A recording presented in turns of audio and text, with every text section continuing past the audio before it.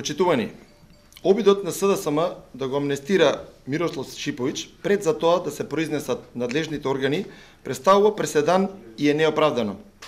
Очигледно дека институциите на системот располагаат со информации според кои председавачот на Совет на Обштина Центар, господин Мирослав Шиповиќ, може да се смета за осомничен за учество во милионска проневера и тие, институциите се единствено надлежни да го дадат финалниот одговор.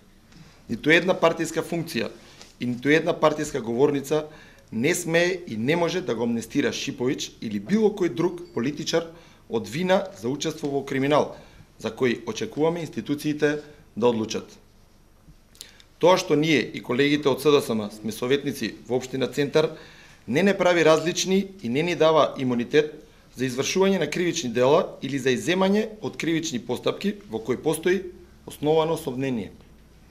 Во оваа држава мора, мора да се почитува презумцијата на невиност, како што бара опозицијата, но мора да се почитува и законот кој важи подеднакво за сите. Аргументот на Жерновски и на СДСМ дека на овој начин се сака да се добие мнозинство во Советот на Обштина Центар е неодржлив и неоснован. Еве зашто тоа е така. Мирослав Шиповиќ е централна фигура во афера во која сомневањата се дека тој, како председател на управниот одбор на Машино Промет, преку предходно организирана група проневериле околу милион евра. Од тука СДСМ како негова матична партија треба да му наложи на Шиповиќ веднаш од морални причини да си поднесе оставка и Државната изборна комисија да го именува за советник следниот од листата на коалицијата предводена од СДСМ. Секој друг обид да се протне било која друга теза е чиста манипулација.